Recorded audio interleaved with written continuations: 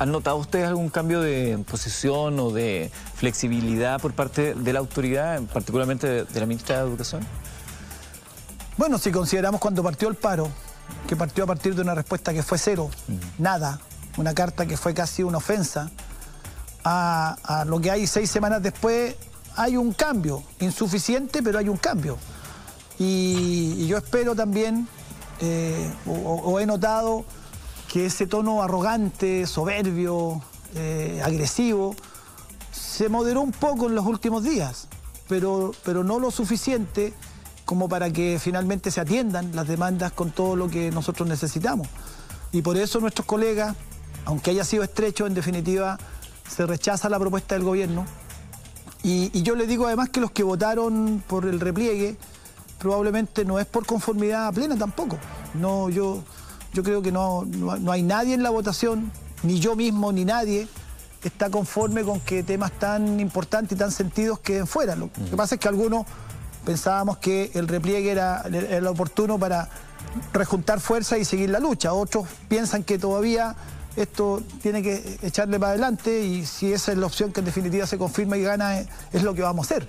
Ciertamente, a mí como presidente me toca asumir esa, esa responsabilidad, yo no voy a rehuir mi responsabilidad pero, pero conformidad no hay en nadie, en ninguno de los 36.000, 38.000 que será la votación final, yo diría que hay conformidad, o, si hay conformidad plena. Si hay algunos, serán muy pocos. ¿Hay ya una agenda, una hoja de ruta en caso de que se mantenga la, movilización en términos de reuniones con el ministerio sobre cómo, cómo se sigue, cómo se continúa? No, no lo hay agendado, pero, pero nosotros quisiéramos que eso se, se retomara.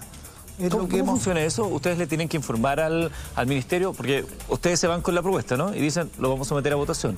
La votación era el día miércoles, se produjo hoy día. Acá están los resultados, ya pasada la medianoche. Ustedes le tienen a alguien, un interlocutor, usted o alguien del colegio de profesores llama a alguien del ministerio y dice, mira, por tantos votos ganó la opción mantener el paro, ¿qué hacemos?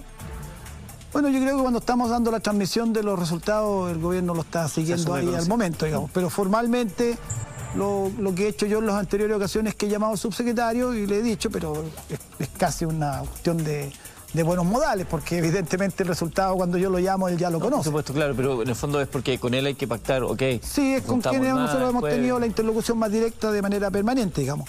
Y, claro, él, me recibe el llamado, se da por enterado y, a partir de ahí, bueno, se agudiza la movilización por parte nuestra, normalmente el gobierno endurece su posición, fue lo que hizo la semana pasada.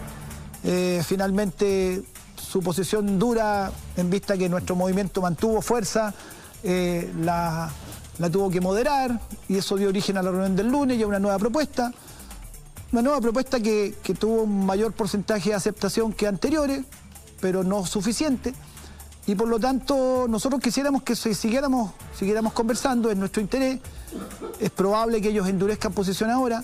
Nosotros tenemos que revisar nuestra táctica también, para eso vamos a convocar una Asamblea Nacional donde vienen los dirigentes de todo el país, porque además está este tema de las vacaciones, entonces tenemos que adaptar aquello, pero obviamente lo que nosotros vamos a hacer, si la decisión se ratifica que continúa un paro, es que tenemos que reimpulsar el movimiento. Y eso es lo que tenemos que hacer entre todos los dirigentes. Tenemos en este instante un contacto telefónico con el diputado Diego Chalper, que es de la Comisión de Educación, él es de Renovación Nacional, lo tenemos en la línea telefónica. Diputado, buenas noches. Buenas noches, Eduardo. Buenas noches, don Mario. Buenas noches. Eh, ¿cómo lo, ¿Qué le parece a usted, diputado, la votación hasta ahora que estaría eh, manteniendo la huelga de los profesores?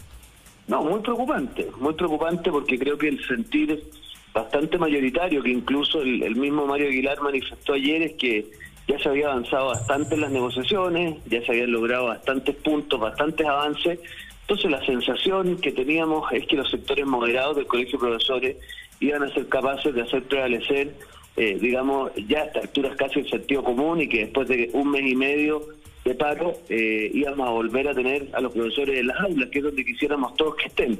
Eh, todavía no son resultados definitivos, de acuerdo a lo que ahí mismo se ha informado, y por lo tanto yo no daría por cerrado el episodio, pero francamente si es que aquí se volviera a mantener el paro, yo creo que la ciudadanía eh, francamente no lo entendería, porque no entendería que habiendo avanzado, y seamos francos, casi en la inmensa mayoría de los puntos, eh, el profesorado siga pensando que esto es una cosa como el todo nada.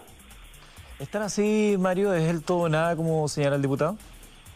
Eh, no, no me parece que sea así, pero me parece que hay puntos importantes que tienen que, que tener una mejor respuesta.